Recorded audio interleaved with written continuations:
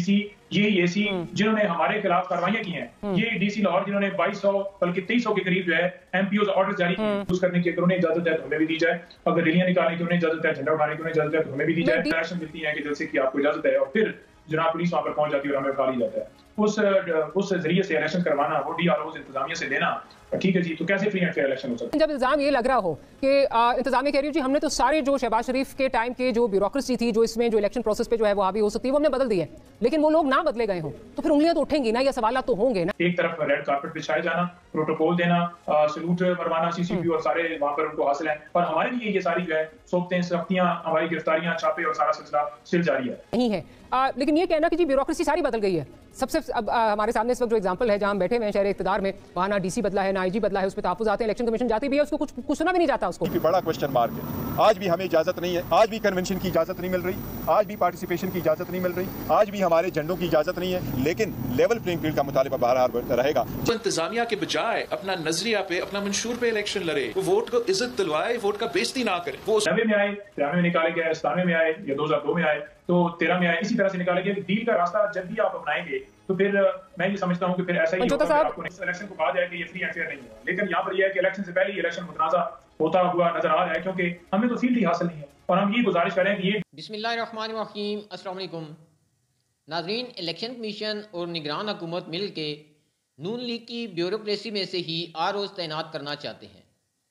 इस पर आज नईम हैदर पंचोता ने नून लीग की ब्यूरोक्रेसी और इलेक्शन कमीशन को ऐसा बेनकाब किया कि नून लीग के चिले राना एहसान अफजल चिला उठे।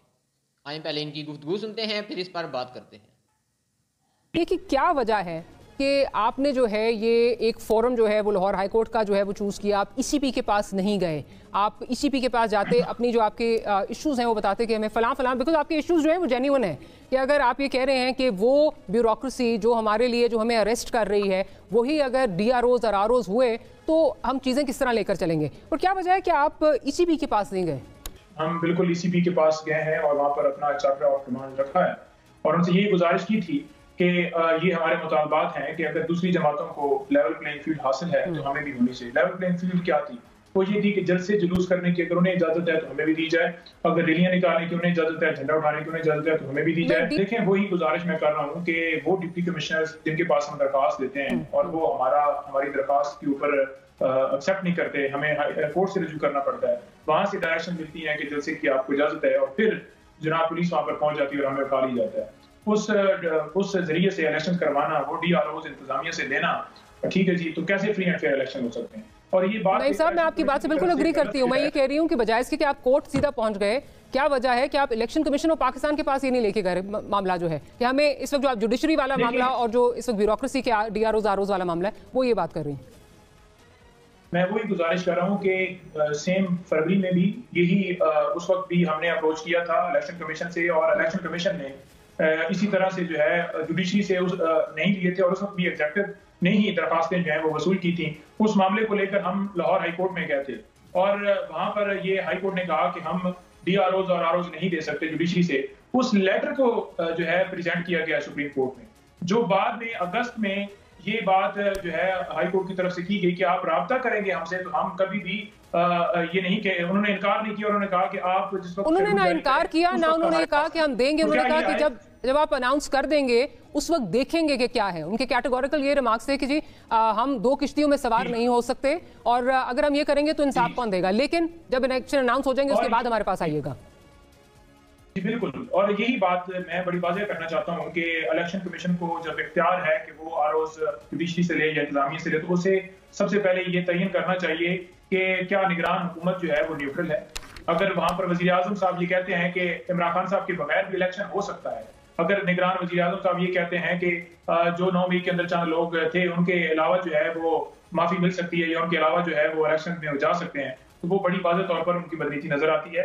एक तरफ़ रेड कारपेट बिछाए जाना प्रोटोकॉल देना सलूट मरवाना सीसीपी और सारे वहाँ पर उनको हासिल है। और हमारे लिए ये सारी जो है सोखते सख्तियाँ हमारी गिरफ्तारियाँ छापे और सारा सिलसिला स्टिल जारी है। नबे में आए तिरानवे में निकाले गए सतानवे में आए या दो हज़ार दो में आए तो तेरह में आए इसी तरह से निकाले गया डील का रास्ता जब भी आप अपनाएँगे तो फिर मैं ये समझता हूँ कि फिर ऐसा ही ब्यूरोक्रेसी आप कहते हैं कि उनके साथ खड़ी है। जुडिशरी आप ये कहते हैं कि उनके साथ नहीं खड़ी बकौल आपके इस वक्त लेकिन माजरत के साथ जिस किस्म का आपका ट्रैक रिकॉर्ड है प्लीज़ हेयर मी आउट जिस किस्म का आपका ट्रैक रिकॉर्ड है with the honourable chief justice of Pakistan इस किस्म इस वक्त जो जिस जो पीछे माजी में हो चुका है जिसको अब आप ये कहते हैं कि नहीं जी हमने नहीं किया था किसी और ने करवाया था किसी और के कहने पर जो है वो किया था उसके बाद इससे क्या वैध है कि ये इलेक्शन कल हो जाए?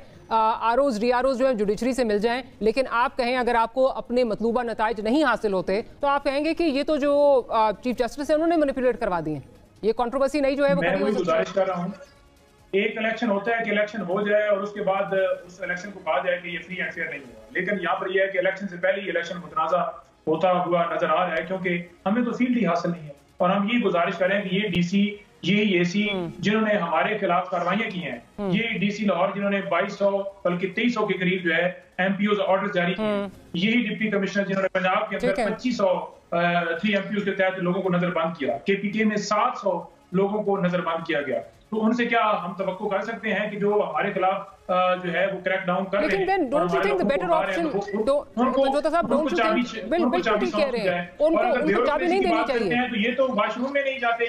उनको आप ठीक कह रहे हैं उनको उनको चाबी नहीं देनी चाहिए उनको चाबी बिल्कुल नहीं देनी चाहिए बट क्या ये बेहतर हल ना हो कि अगर एग्जीक्यूटिव से आ रहे हैं तो उन तमाम लोग जिन पर आपको एतराज़ात आपके तहफात हैं आप वो नाम प्रोवाइड कर दें इलेक्शन कमीशन ऑफ़ पाकिस्तान को कहें जी ये नहीं होने चाहिए। इमरान खान को इलेक्शन कमीशन की बात कर रहा हूँ कि गैर कानूनी तौर पर डिस्कालीफाई करे फिर इंटर पार्टी इलेक्शन के हवाले से हमारे ऊपर इतराज लगाए किसी और के ऊपर ना हो।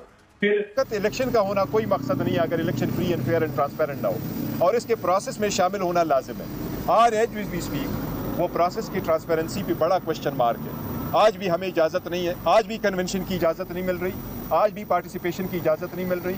आज भी हमारे झंडों की इजाज़त नहीं है। लेकिन लेवल प्लेइंग फ़ील्ड का मुतालबा बहरहाल रहेगा। जितने सख्त सरकमस्टांसिस में हम कंपेन कर रहे हैं, अगर ये सख्ती हमारी नो लेवल प्लेइंग फ़ील्ड हो, आप देखेंगे इनशाला हमारे पास टू थर्ड मेजारिटी आएगी। और मेरा मुतालबा है मियाँ साहब से भी कि वो इंतजामिया के बजाय अपना नज़रिया पे, अपना मंशूर पे इलेक्शन लड़े। वो वोट को इज़्ज़त दिलवाए, वोट का बेजती ना करे। वो उसका बेहतरी होगा, उसमें मेरा बेहतरी होगा, उसमें मुल्क का बेहतरी होगा। रान साहब आपकी तरफ़ आती हूँ। आठ को इलेक्शन हो जाएँगे। ग्रेट एक अच्छी जो है वो आ, आ, अच्छी चीज़ है कि फाइनली जो मुल्क में इस वक्त जो है वो इतनी एक आ, एक जो एक गैर यकीनी की कैफियत थी वीज़ इलेक्शंस वो ख़त्म हो रही है। लेकिन जो बैरिस्टर गौर साहब कह रहे हो गलत नहीं है और उसी पे आगे जो है वो बोलूँगी। कि क्या वाकई सिर्फ़ मकसद जो है, वो इलेक्शन आठ तारीख को कराना है, या ये भी है कि इंश्योर किया जाए कि वो इलेक्शन फ्री हो फेयर हो ट्रांसपेरेंट हो, ना सिर्फ़ ये बट उसके बाद जो मुल्क में पोलराइजेशन है, वो ख़त्म हो, और मुल्क आगे चले, ना कि हम फिर वही धांधली धांधली के रोने सुने, नारे सुने, एहतजाज देखें, और हम पीछे की तरफ़ ही चलते जाएँ।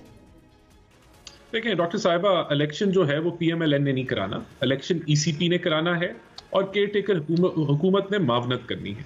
जहाँ तक हमारे पे इल्ज़ाम हैं हमारा बड़ा क्लियर स्टांस है कि हमें हम समझते हैं लेवल प्लेइंग फ़ील्ड होनी चाहिए है इलेक्शन फ्री फेयर ट्रांसपेरेंट होने चाहिए और वोट को इज़्ज़त मिलनी चाहिए। बिल्कुल आप ठीक कह रहे हैं इलेक्शन कमीशन ऑफ़ पाकिस्तान ने जो है वो इलेक्शन कराने आपने नहीं कराने। लेकिन जब इल्ज़ाम ये लग रहा हो कि इंतजामिया कह रही हो जी हमने तो सारे जो शहबाज शरीफ के टाइम के जो ब्यूरोक्रेसी थी जो इसमें जो इलेक्शन प्रोसेस पे जो है वो हावी हो सकती है वो हमने बदल दी है। लेकिन वो लोग ना बदले गए हों तो फिर उंगलियाँ तो उठेंगी ना या सवाल तो होंगे ना। नहीं लेकिन सबसे पहली बात तो ये ब्यूरोक्रेसी तो चेंज हुई है। आ, मैं फैसलाबाद से अभी ये कर रहा हूँ। मेरे ख्याल से दूसरे या तीसरे जो हैं वो डीसी इधर आ चुके हैं जब से केयर टेकर सेटअप आया है।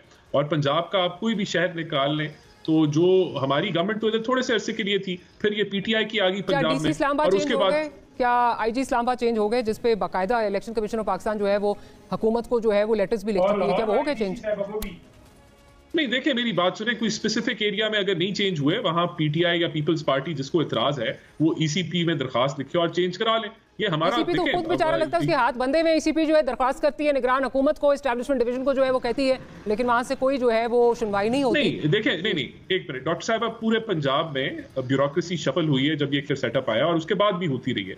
अगर कुछ जगहों पर नहीं हुई तो वहाँ जिसको एतराज़ है वो अपना एतराज़ जमा कराए। उसको मीडिया में भी बताए कि ये मैंने वहाँ भी जमा करा दिया है और इधर भी जमा करा दिया देखिए बाकी पीपल्स पार्टी बयानियाँ बना रही है और उनके जो जो फोर पी है जिसने टिकट्स अलॉट करने हैं जरदारी साहब उन्होंने कैटेगोरिकली कहा है जिसमें मेरे ख्याल से कोई कंफ्यूजन की गुंजाइश नहीं थी कि पंजाब में भी जो केयर टेकर सेटअप है वो उनके बेटों की तरह सीएम है और उनको जब कोई हमें शिकायत होती है हम बताते हैं तो वो न्यूट्रल तरीके से उसको हल कर देते हैं। वो झूठे प्रोपोगंडे किए आलमी साजिश इंपोर्टेड हुकूमत उसके बाद बाद ये मीर जाफ़र मीर सादिक और तो नासाबा माजरत के साथ क्या ही अच्छा होता कि हमारा इलेक्शन कमीशन ऑफ़ पाकिस्तान उतना जो है वो बाख्तियार होता जितना आ, इस वक्त रान साहब कह रहे हैं। उनकी तो सुनवाई नहीं होती। ये बात तो आप बहुत देर से भी बात कर रहे हैं कि जी ब्यूरोक्रेसी जिस तरह मनीपुलेट किया जा रहा है ब्यूरोक्रेसी के थ्रू वो एक लेवल प्लेइंग फ़ील्ड के मुतरद नहीं है। आ, लेकिन ये कहना कि जी ब्यूरोक्रेसी सारी बदल गई है। सबसे अब आ, हमारे सामने इस वक्त जो एग्ज़ाम्पल है जहाँ हम बैठे हुए हैं शहर इकतदार में वहाँ ना डीसी बदला है ना आईजी बदला है उस पर तहफ़ आते हैं इलेक्शन कमीशन जाती भी है उसको कुछ कुछ सुना भी नहीं जाता उसको। कोई इसकी बात पे कोई जो है वो कान भी नहीं धरता। कितनी बाख्तियार है election commission of Pakistan doctor Maria इस तरह जो हम अगर गुफ्तु करेंगे तो मैं समझती हूँ कि अगर हम बात करने बैठ जाएँ तो आप मुझे गिनवा दें कि कौन सा ऐसा कोई एक इंस्टीट्यूशन आप गिनवा दें क्या पुलिस के ऊपर सौ फ़ीसद कोई एतमाद करता है? क्या यहाँ पे ब्यूरोक्रेसी में आप जाएँ तो लोगों का क्या सौ फ़ीसद एतमाद है? सोसाइटी के है ना अभी ट्रांसपेरेंसी की गालिबन रिपोर्ट आई थी जिसमें टॉप नंबर पे पुलिस ही थी। जी बिल्कुल। करप्शन जी बिल्कुल मैंने पढ़ा मैं बिल्कुल मैं स्टडी कर चुकी हूँ बिल्कुल ऐसे ही है। छह उन्होंने इंडिकेटर्स दिए हैं जिसके अंदर उन्होंने सबसे पहले जो है वो पुलिस का शुमार किया है। पंचोता ने बिल्कुल ठीक कहा कि पंजाब के यही डीसी यही एसी हमारे खिलाफ इंतकामी कार्रवाइयाँ कर रहे हैं। लाहौर के डीसी तेईस सौ के करीब थ्री एम के तहत हमारे कारकुनान की गिरफ्तारियाँ कर चुके हैं। क्या ये साफ़ और शफाफ इलेक्शन होने देंगे या हमें कंपेन करने देंगे? सवाल ही पैदा नहीं होता। नाजरीन, आपका क्या ख्याल है? शफाफ इलेक्शन हुए तो जीत किसकी होगी? आप अपनी राय से हमें ज़रूर आगाह करें। नेक्स्ट वीडियो तक मुझे दें इजाज़त। अल्लाह हाफिज़।